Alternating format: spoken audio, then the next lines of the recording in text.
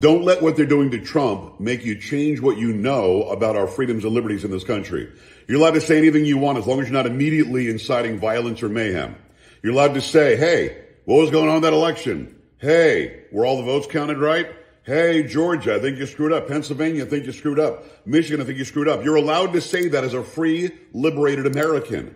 He's allowed to say it. Indicting people for saying things like that is completely outlandish and it's un-American. Don't fall for it.